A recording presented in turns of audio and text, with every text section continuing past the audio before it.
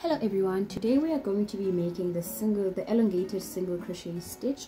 It looks like this and I think it's perfect for your uh, blankets and probably even cardigans and if you like making dishcloths this can also be a perfect stitch for that. So the trick here is to have, it's, it's basically a single crochet that is um, chain stitches in between. So it's a single crochet, chain stitch single crochet chain stitch single crochet chain stitch.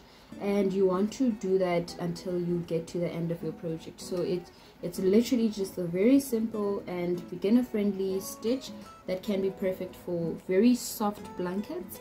So what you want to do here is to make your slip knot and this can be in any way you deem fit. Um, I just make like making it this way and you want to make chains which are an odd number because you want to start here at the beginning with a single crochet and end with another single crochet. But if you look at the actual pattern of the stitch it's a single crochet and a chain single crochet and a chain. So it is a two by two um, stitch but it does require you to leave with a single crochet on your first um, row here because then it would not be a straight project if you don't end with a single crochet. So it's just better to leave with an odd number. So what I'm going to do is to chain 12 uh, plus the one extra which makes it an odd number and then have one more chain because I'm making a single crochet stitch. So this is 2 4 6 8 10 12 13 which is just the perfect number and then one more because it's a single crochet. So you want to then go into your your not the first stitch but the the second one.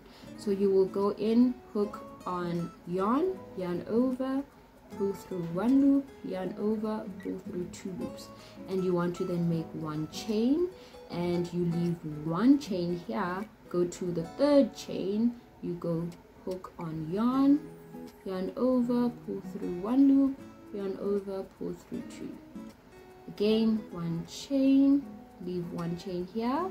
You go to hook on yarn yarn over pull through one loop yarn over pull through two loops. So you continue with this. I'm just going to meet you at the end here okay so when you get to the end of your project this doesn't really look much right now because it's still the first row but when you get to the end of your project you want to make two chains because you want to avoid going to your very first chain because you are looking to create that um, elongated crochet single crochet. So when you look at when you just study this pattern here the single crochets look slightly longer than your normal single crochet. So you want to create that illusion of a longer single crochet. So this is why you want to go onto your next row um, onto a chain and not necessarily the actual stitch itself the actual single crochet. So you want to make two chains here. Go into the gap between the single the two single crochets where you made your chain in your previous row. So you go into that um, yarn over pull through two loops. Again you make one chain for this stitch here and you go into your stitch again your your your this this hole here or the loop here i'm not sure what you want to call it. And you will then yarn over pull through one loop one yarn over pull through two loops. And you will do the same thing again. Yarn over pull through one loop one yarn over pull through two loops and you go on with your project until you reach your desired size. So let's just proceed with this so that you just see how it, it, it will how the outcome will be.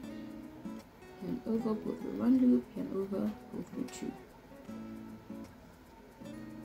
So as you can see now this created that elongated single crochet. So it seems as if for, for each and every single crochet that you make it looks slightly longer than your normal single crochet. And that is basically how you make the elongated slash moss stitch